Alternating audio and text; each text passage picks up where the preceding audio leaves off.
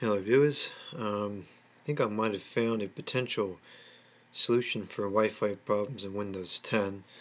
I'm working on a Dell Latitude here and I have issues with the Wi-Fi every time, every time I turn the computer on Wi-Fi doesn't connect and I can disable the adapter and re-enable and then it'll work fine.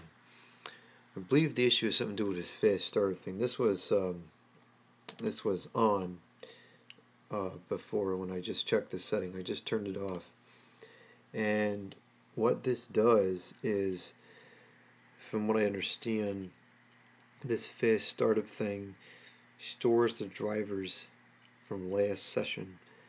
Um, if this is not enabled, then the computer should reload the drivers every time I turn the computer on, which hopefully will solve the problem.